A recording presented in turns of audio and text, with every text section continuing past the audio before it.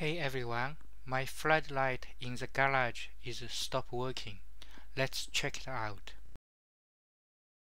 The bulb is easily broken.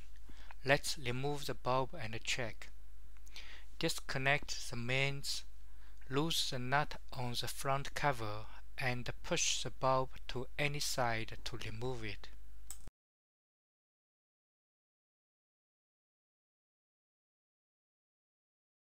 Set the multimeter to beep on short circuit.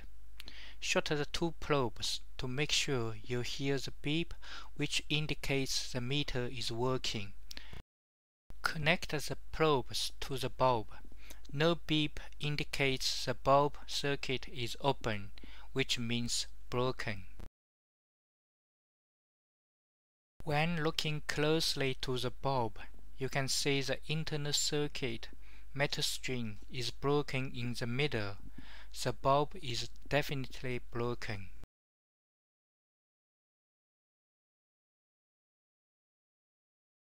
Label shows the light use R7S bulb up to 150 watt. I like to take the chance to upgrade the halogen bulb to LED to save power. After a few research, I ordered the Osram 8 watt bulb which is equivalent to 70 watt halogen bulb.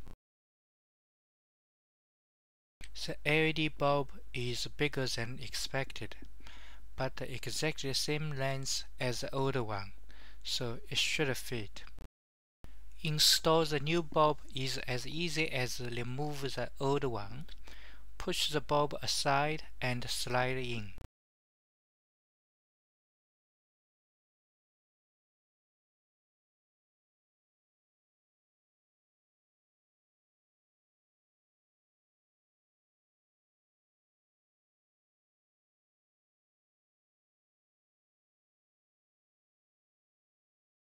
Make sure the bulb is full fitted on both sides. Put the cover back and test.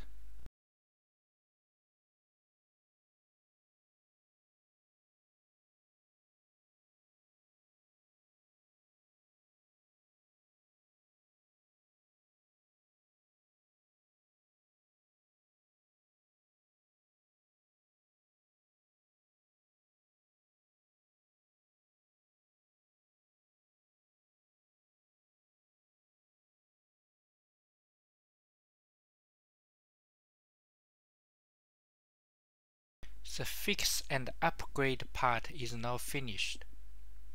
If the light is still not working, I'm going to show you how to check the PIR circuit.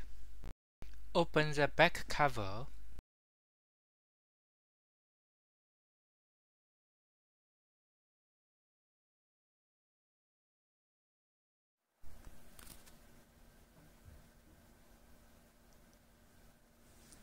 Set the multimeter to AC voltage.